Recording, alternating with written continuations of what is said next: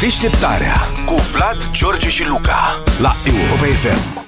Elvis Presley, dacă nu știați, mor de 45 de ani, sărăcuțul, continuă să încaseze 110 milioane de dolari anul trecut din marketing și vânzări de memorabilia, cum se zice, uh-huh. la Graceland. Turiști, vizite, popușele cu Elvis, ce o face cu atâția bani? Da. și sta să vedem după ce se adună efectul filmului avangardist. Elvis. Da, da. Cum ar veni? Da, altfel a apărut... uh, Dacă n-ați văzut filmul, să Dar cine o vedeți. încasa?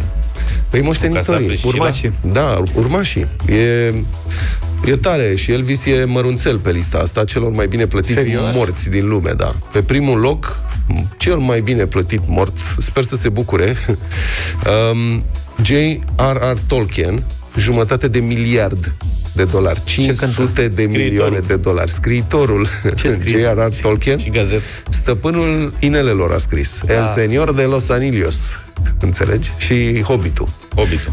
Da. Uh, Compania, mă rog, urmașii au încasat 500 de milioane de dolari anul trecut în urma vânzării companiei care deține drepturile de autor pe operele lui. Ți-ar plăcea să fii strănepotul lui Tolkien. normal. Tolkien a murit în 73. Pietul de el. A A, de făcut, o, săracul nu s-a bucurat nici măcar de... da, a făcut o pneumonie și s-a prăpădit Dumnezeu să-l odihnească și continuă să producă. Deci, frate, să câștigi atâția bani în timpul vieții și după și s-a vândut uh, compania care deține drepturile de autor, Middle Earth Enterprises, nu știu ce, au cumpărat-o niște suedeji. Există o companie de gaming, stai că spun cum se cheamă, Embracer.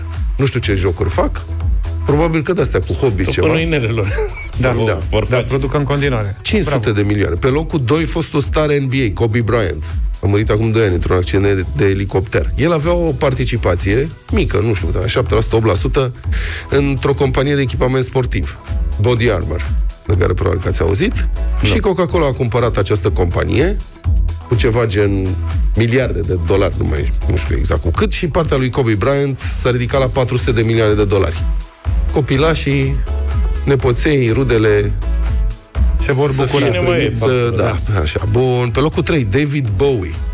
David Bowie, Vinde, nu? da, când te gândești că România nu difuzează practic Nimeni. nimeni, Nimeni, dar nici nu măcar există noi. decât pentru cei care iubesc muzica lui în special. noi îl difuzăm din când în când pe David Bowie, Da. așa. 250 de milioane de dolari anul trecut din vânzarea albumelor.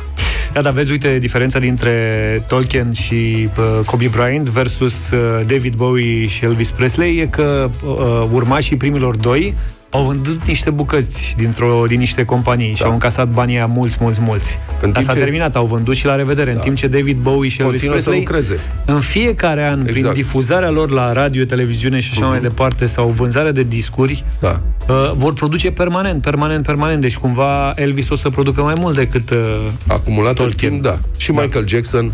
Nu vreau să la mă fel. gândesc. Și Michael 45 Jackson. de ani de când a dispărut. Îți dai seama câtă muzică s-a vândut în Elvis. 45 de ani? Cu Da, Elvis, da. da. Și Michael Jackson anul trecut 80 de milioane da în subțire. case. Alt rege, dar mai subțire. Leonard Cohen pe listă 55 de milioane. Băi, fascinant. Da, este fabulos. imbatabil. Adică Leonard Cohen este fascinant. Orice Da. Leonard Cohen se ascultă, se vinde foarte bine. Știți că el era de timid, au trebuit să-l împingă pe scenă, nu voia să cânte nimic, se părea că n-are voce, da, bun, adevărul că nici n-avea, da. Da. La cum sună acum aș putea să cânt și eu, știi? Despre Leonard Cohen numai de bine. Da. Pe locul 12, John Lennon. Eu Cohen o să rămână... Așa, da, eu, aoleu, frate, nu există, nu mai spune că mă enervez. Cât, cât noroc să ai în viață. Yoko. Tot norocul de pe lume. Da, Yoko Ono, 16, așa, d- 16 milioane. George Harrison, 12. 12 milioane. Mă Da. mir că nu e Paul McCartney pe listă de Tot loc, ce, dar păi, e viu încă, e viu cred. încă. Tot ce înseamnă Beatles, oricum o să valoreze foarte mulți bani. Păi, dar cel mai tare dintre Beatles și Ringo Starr. Ăla a ajuns din da. întâmplare în trupă, că bateristul... Nici nu mai contează. Adevărat, da. El s-a distrat, n-a a compus, cred că, o piesă fără voce, a cântat Da, odată. da, da, da, da, da. O singură Cred că dată. putem să o căutăm, nu mai știu Am care și dat-o este. la un moment With a dat. little help of my... Mm, Care e, mă, frate? Mm, hai să nu spunem Îmi prostii. sună în dintre cap, ele. dar nu-mi vine titlul acum. Da, și s-a scos. Fără nicio voce, fără nimic, el s-a distrat toată viața, boierie și asta a fost.